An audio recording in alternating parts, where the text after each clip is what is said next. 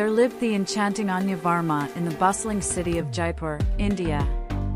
Anya, with her dusky skin and expressive eyes, moved with a grace that captured the essence of elegance.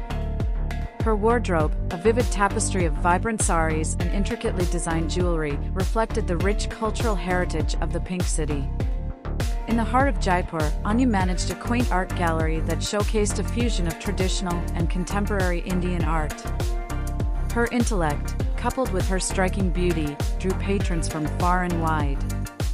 The gallery, a sanctuary of creativity, became a reflection of Anya's refined taste and passion for aesthetics.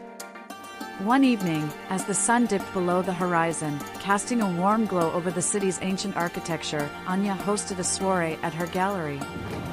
Dressed in a silk sari that accentuated her every curve, she moved through the crowd with a magnetic allure. Anya, a beacon of sophistication, effortlessly blended tradition and modernity, leaving an indelible mark on the canvas of Jaipur's social scene.